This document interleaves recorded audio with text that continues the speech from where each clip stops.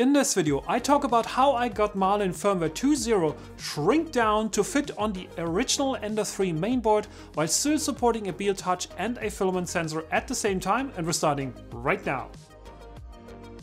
Hello, my name is Daniel, welcome to the Crosslink channel. Our mission is to help 1 million people getting more successful with 3D printing and if you're here for the first time, subscribe and enable bell notifications so you don't miss anything. In the last couple of videos I've implemented several changes to my Ender 3, starting with a filament sensor and now a BL Touch. And for the individual change, it wasn't that kind of hard to build a firmware that fits on the original mainboard, but when it came to enabling both features at the same time, it got a little harder. You can use this guide for any occurrence where you run into issues with Marlin firmware being too large.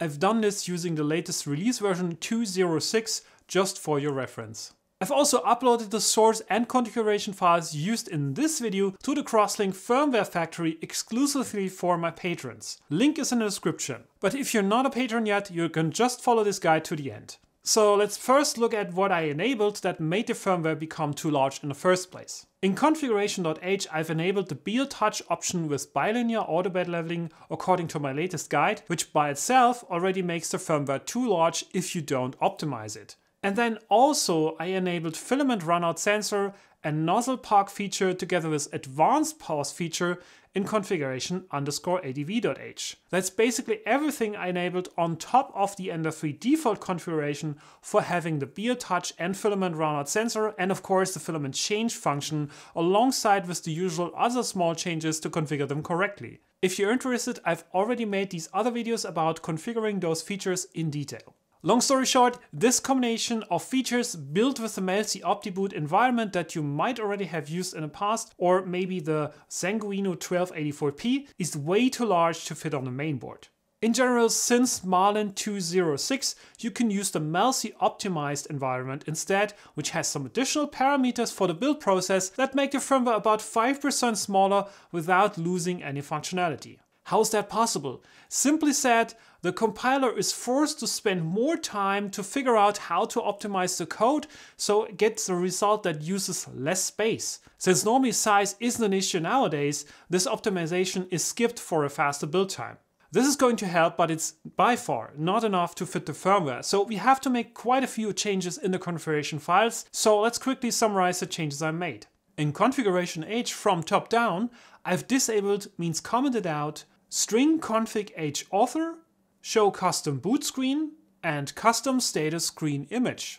I've enabled disable M503, I've disabled EEPROM chitchat, and I've enabled slim LCD menus. So let's stop here for a second for some explanation. The disable M503 option will save a significant amount of space, but with the caveat that you also use the M503 command, which reports back your current EEPROM values. Disabling EEPROM chitchat means there won't be any confirmation anymore when doing firmware commands. This might have some consequences if you have external software using these messages, like some plugins in Octoprint for EEPROM management for example. Same applies for the M503 command. Slim LCD menus will reduce the LCD menus to the ones really needed. Some menu items that are normally seldom used will be removed, so check if you miss something. You might have to use G-code commands instead to use these functions then. Next, let's look at what I changed in configuration underscore adv.h. I've disabled auto temp.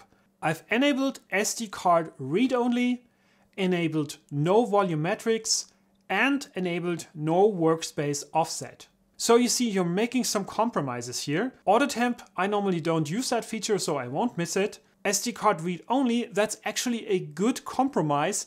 I normally just print from the SD card, but I don't see any use case where I would want to write something to it. One feature that would require writing to the SD card however would be the power loss recovery, but that's not in this firmware anyways. No volumetrics will only impact you if you use the M200 command for setting volumetric instead of linear extrusion. Finally, no workspace offsets.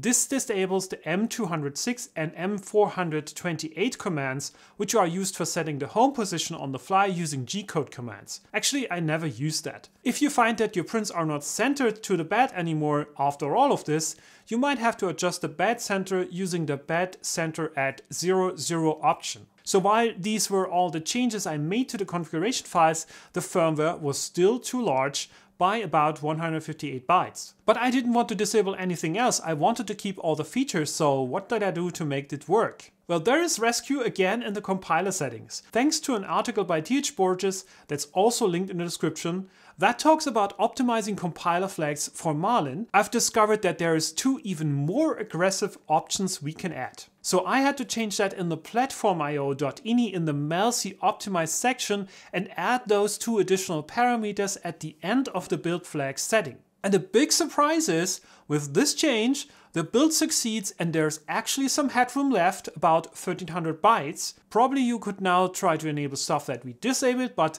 the point is, it's always good to have some space left. I've seen people struggle with firmware being at 99.9% of the available memory, and then they got blank screens, random reboots, overwritten bootloaders, all these kinds of things. I would say it's good to stay away from that a little bit for sanity.